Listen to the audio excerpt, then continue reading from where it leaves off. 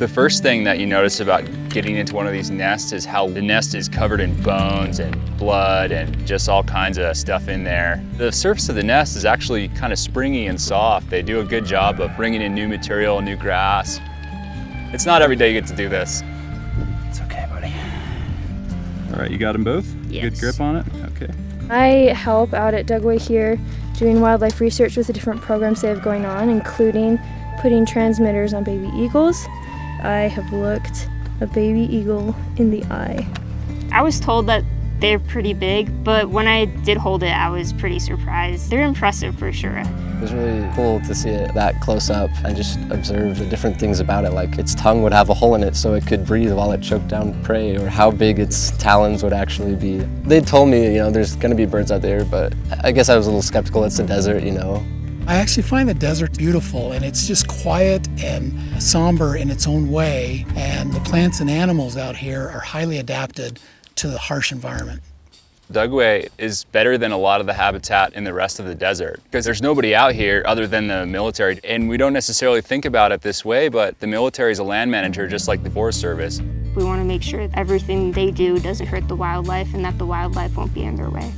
Each summer we have an internship for students at BYU and we put them right in the middle of the professional staff with the day-to-day job duties and they pick it up very quickly. We manage a, a pretty diverse set of animals. We've got the golden eagles, we have mule deer. We actively monitor kestrel nests.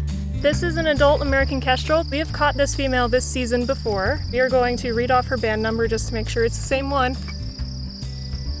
When we process the nestlings, we're going to hold them very differently. Hand under, hand over. Uh, it keeps them feeling secure. And the bird's legs aren't going to grow anymore. This is as big as they get. This band will be comfortable on this bird for her entire life.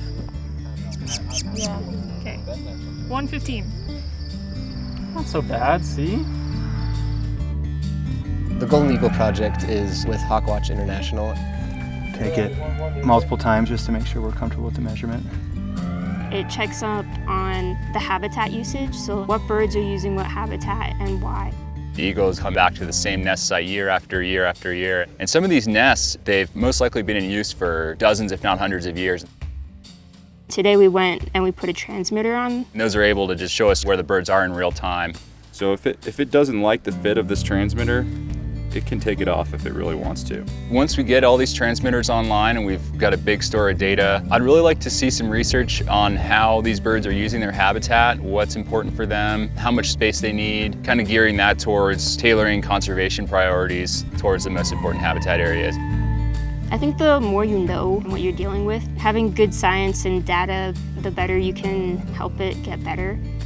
Everything works together. It's important just to make sure we're taking care of our lands and we keep them in good order for us and future generations.